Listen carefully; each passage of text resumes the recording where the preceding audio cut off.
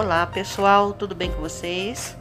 Sejam bem-vindos a mais um vídeo do canal Lado Doce.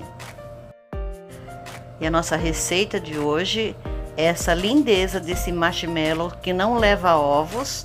É uma delícia, só tem quatro ingredientes e a gente vai fazer com sabor lactinho. Olha que delícia, gente. E é dificilmente a gente perde o ponto desse daqui, porque você conta 10 minutos no relógio e dá certinho. Tá bom? Vamos começar então, pessoal.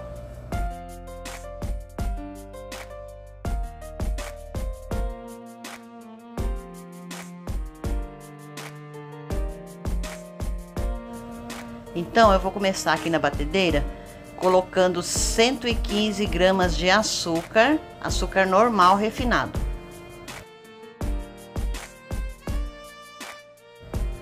25 gramas de emulsificante para sorvete. E olha aí, 25 gramas dá mais ou menos uma colher de sopa cheia. Mas o ideal é pesar sempre os ingredientes, tá bom? Também estou adicionando 60 ml de água gelada.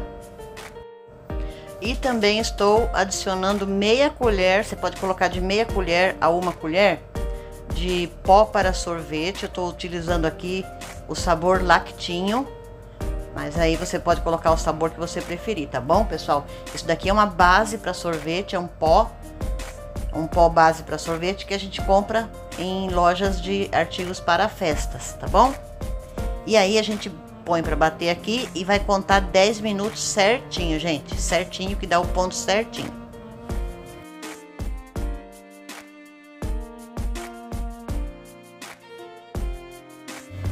Então, pessoal, essa receita ela tem quatro ingredientes, se for contar com a água, né? Mas eu nem sei se considera água um ingrediente. Então, são três ingredientes. Olha que baratinho. Ó, agora eu vou dar uma adiantada no vídeo e vou deixar batendo aqui 10 minutos, aí volto para mostrar para vocês. Vocês vão ver que quando dá 10 minutos, começa a ficar com um buraco igualzinho o chantilly quando tá no ponto, tá bom? Esse daqui também, ele fica com um buracão no meio, pra gente saber que tá no ponto já, tá bom? E isso acontece exatamente quando dá 10 minutos. Já volto, pessoal. Pessoal, observa, olha o buraco no meio, enquanto tá batendo, tá vendo?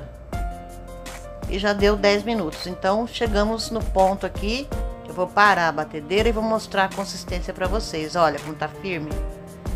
Vou pegar com uma espátula para vocês verem aqui a consistência direitinho, tá bom? E depois a gente vai fazer uns trabalhinhos, eu vou testar para vocês verem a consistência a gente vai testar com bicos de confeitar. Olha aí, gente, olha que lindo que ficou. Nossa, tá um cheirinho delicioso, é uma delícia, viu? Ó como tá firme. Olha aí, pessoal, não cai da pá, tá vendo? Então agora eu vou é, encher uma manga de confeitar e fazer algumas demonstrações para vocês verem como que fica serve para espatular o bolo também, tá bom, gente? E aqui eu estou utilizando o bico 6B da Wilton. E olha que perfeição as ranhuras, olha como fica bonito, fica bem definido, tá bom, gente? A consistência desse, desse glacê permite isso, que fique bem definido, bem desenhado. E é tão gostoso que dá até para comer de colher, sabia, pessoal?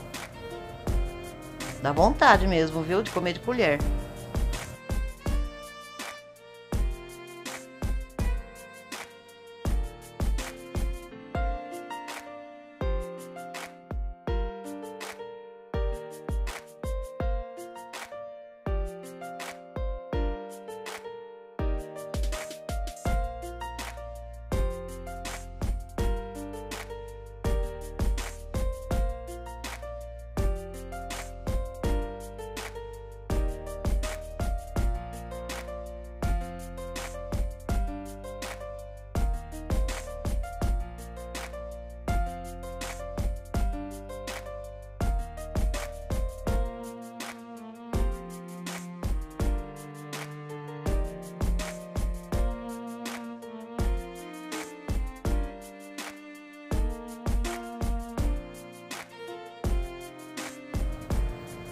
Agora eu estou utilizando o bico folha.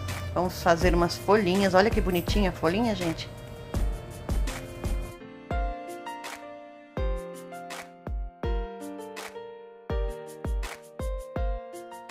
Melhor se tivesse verde a folhinha, né? Mas como é para demonstração só, mesmo assim ficou lindinha, olha.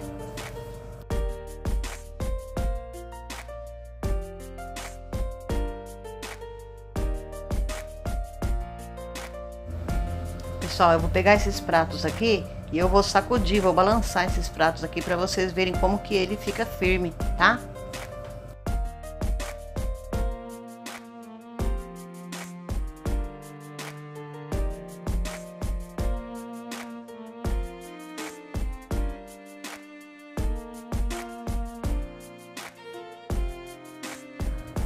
Ó, pessoal, levantei o prato aqui, tá de lado. Pegar o outro também. Olha lá, gente. Continua inalterado, tá bom? E lindo, né?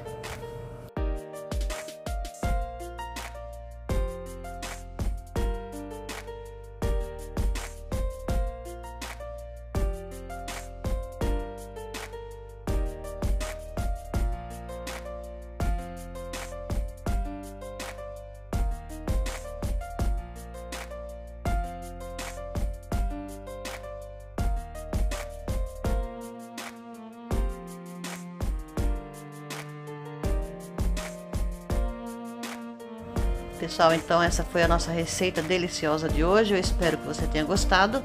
E amanhã a gente se encontra novamente com mais coisa bonita aqui no canal lá do Doce, tá bom? Fiquem todos com Deus. Tchau, tchau, gente.